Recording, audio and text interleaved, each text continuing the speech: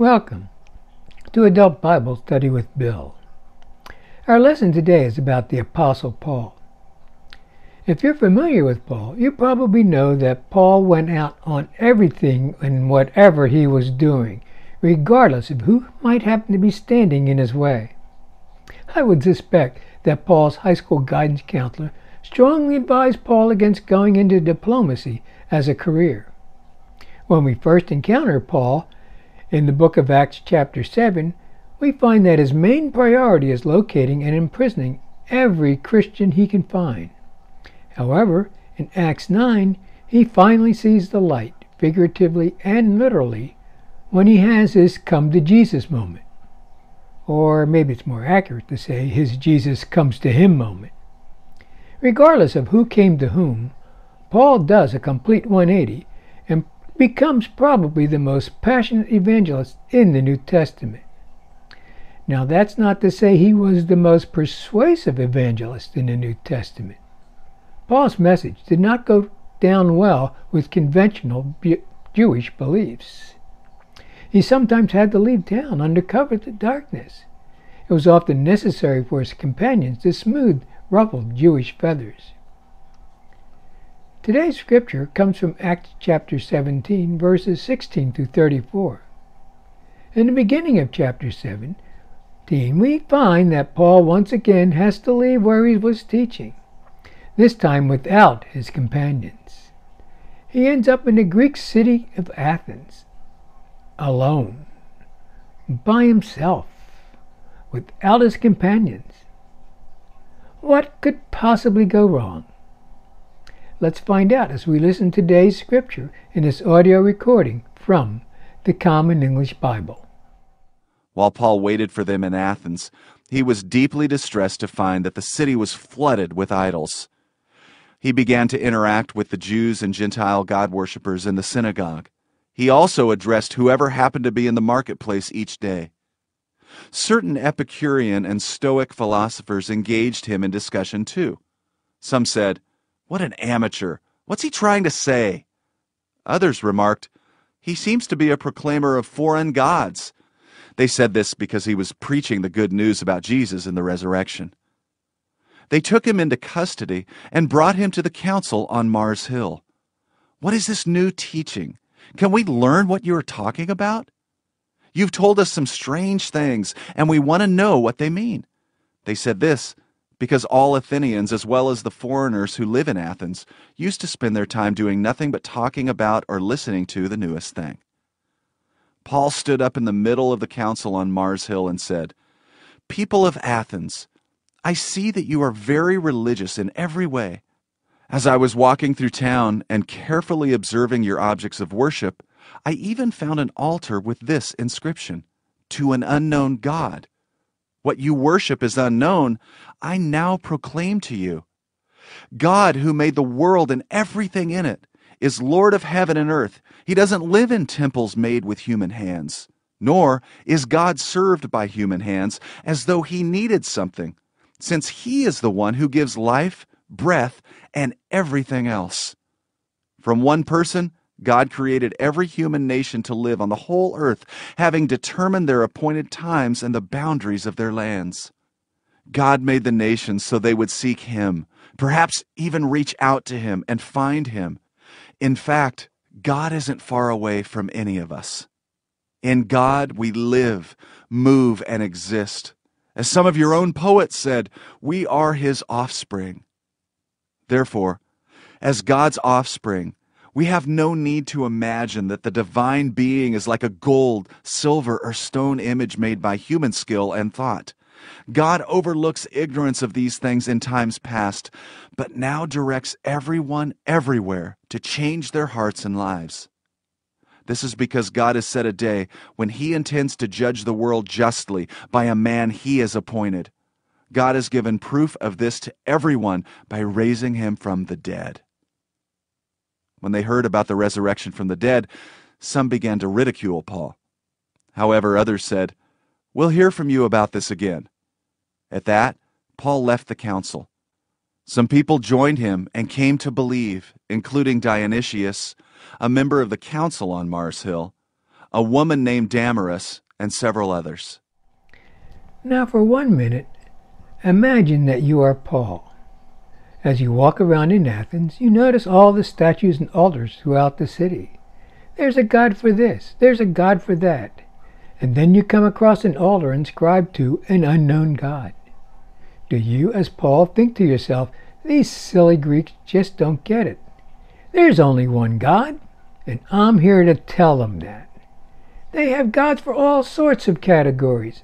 They've even set up a god for to whom it may concern, in case they miss a category. One can imagine that Paul is ready to let loose and tell those Greeks just how wrong they are. Well, surprise. As we read in today's scripture, that's not what happens at all. In fact, Reverend Reed Wilson, the author of our Bible study, tells us it's impressive that Paul did not come across as judgmental or angry towards the people in Athens. Think about when you encounter social media. We sometimes disagree with the politics, priorities, and moral decisions that are expressed by others. Do you find yourself tempted to say to them, if you had another brain, it would be lonesome? How do we get past their bluster and postings? Do we listen for signs of hurt, pain, or frustrations? Paul gave us a wonderful example of this in his speech. But oftentimes we make snap judgments based on preliminary observations. Just look at what the people of Athens did. The first reaction of many was that Paul was an amateur, that he had nothing to offer them. It took his persistence and his wise compassion not to, to surrender to the distress that he felt and write off the elite of Athens completely. He didn't win over the whole crowd, but he reached some, and God did the rest. Talking in the marketplace with his listeners, including philosophers, Paul sought to help them understand his message. But these brilliant thinkers could not understand him. Some apparently thought he was preaching two deities, Jesus and resurrection. That's because the Greek word for resurrection was anastasis, a woman's name. Charging him with preaching foreign deities, that was the charge that led to Socrates' death in Athens centuries earlier. These people brought him to Athens' High Court on Mars Hill probably to determine whether he should be certified to teach his philosophy in Athens or not, or maybe to determine if he was just plain certifiable. In this video clip, frequent Cokesbury contributor Amy Sigmund talks about how the Athenians reacted to Paul and his teachings. In Acts 17, Paul has just arrived in Athens. Athenian society prided itself on educated conversation and debate about belief. Those conversations took place in public spaces like the marketplace or bathhouse. There were Jews and Gentiles, Epicureans and Stoics. It really doesn't sound all that different from living in American cities today or having a debate on a college campus. Paul was distressed by what he saw of the people's various objects of worship. His reaction was to go to the marketplace and engage people in conversation. I love that this was Paul's tactic. He went to people in a common meeting place and struck up conversations with them. This resulted in Paul being taken to the main council at Mars Hill, where the thought leaders of Athens questioned him about his beliefs, about Jesus, about what ideas he's spreading in the marketplace of Athens. People's reactions to Paul's speech in response to the council's questions varied. Some ridiculed him, some indicated that they wanted to hear about Paul's beliefs again at a later time and some joined him immediately and became believers. I think that's a pretty good illustration of what we may find as we engage in faith conversations with those whose beliefs differ from ours. One commentator said that the writer of Acts did something important here. He recognized Greek philosophy as a legitimate conversation partner in the approach to God. In other words, Paul met them right where they were. He said that our man made little gods, little idols, and philosophies are not sufficient in themselves, but they can be good starting places for moving toward the gospel of Jesus Christ. In this text, I hear this very plain truth. You do not need to be perfect in order to start your journey toward God. And to those of us called to spread the message of the good news of Jesus Christ, we can begin this without tearing down the beliefs of those whom we meet. God doesn't require that of us.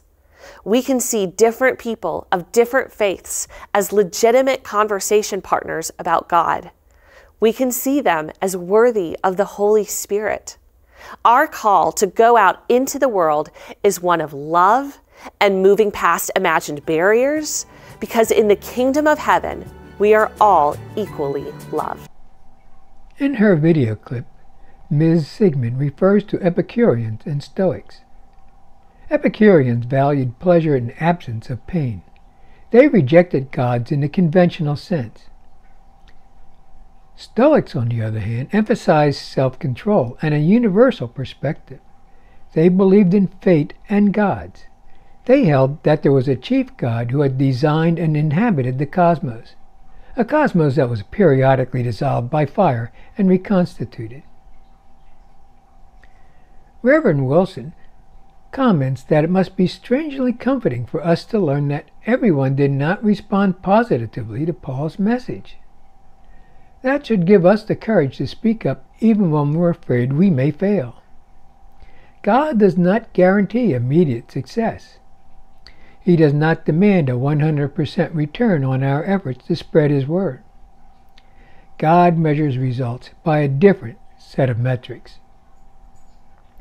We are called to plant seeds along the way and be faithful and engaging and respecting persons where they are in their journey with God. God does not call upon us to gain immediate results. God calls us to listen and respond to, with love to the cries of those who are seeking the God whom seems to be unknown to them. I will conclude this lesson with some thoughts on evangelism. We can find evangelism a difficult concept to wrap our heads around. In Matthew chapter 28 verses 19 and 20, Jesus gives us the great commission.